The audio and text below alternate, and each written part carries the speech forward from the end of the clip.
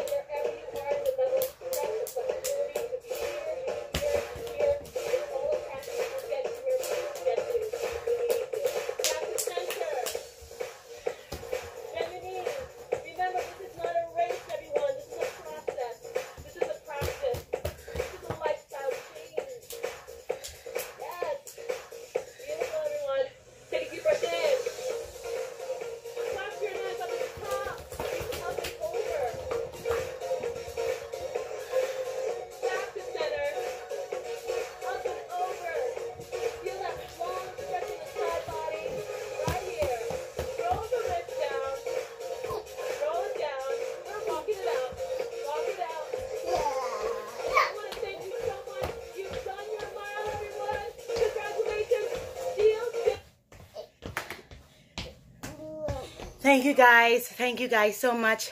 If you were following along with me, you did an awesome job. I'm telling you, 15 minutes. It's amazing what you can do in 15 minutes. And I'm so happy that I did. I feel a whole lot better than when I started. You burn calories, you get a nice sweet sweat. Oh my goodness. When is it ever not enough time in your day to, to put in a workout? Trust me. 15 minutes a day? Can you believe what 15 minutes a day can do for your body? Time is not the issue, it's how we use it. So, thank you, my peeps, for watching this little workout exercise with me this morning. And I'll see you later when I do another um, another vlog with me talking about how the entire day goes. Yep, but so far, gotta get my water in. And this is just some water with apple cider vinegar. And yes, I do warm it. So it's nice and warm and easy to go down. So thank you guys. Peace.